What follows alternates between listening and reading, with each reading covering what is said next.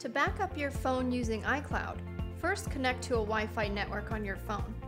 Using Wi-Fi is typically faster than your cellular connection and ensures you don't use up your monthly cellular data allotment. Open the Settings app on your iPhone. Select iCloud. Tap Backup. Toggle the iCloud backup switch to the on position. Then tap Backup Now to back up your phone. And that's it.